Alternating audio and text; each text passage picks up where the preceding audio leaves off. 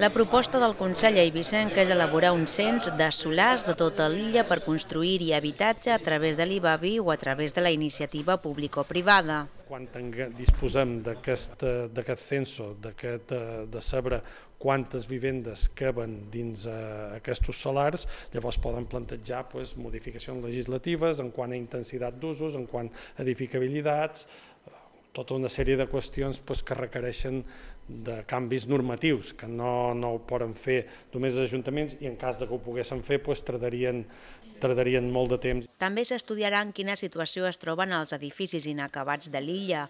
Volen negociar amb els promotors la seva reconversió en habitatge de lloguer a preu taxat. Haurà que veure en cada cas quina és la situació d'aquest edifici, d'aquesta estructura o quin és el seu estat i facilitar pues, la seva reconversió eh, a un edifici de vivendes, pues, ja sigui de protecció oficial o a preu taxat i eliminar-lo del panorama urbà. Ha assegurat a més que el Consell perseguirà de forma contundent l'oferta il·legal d'habitatge turístic. En aquest sentit, el que pretén la institució és que una modificació legislativa possibiliti el precinte dels habitatges que es lloguin il·legalment a turistes.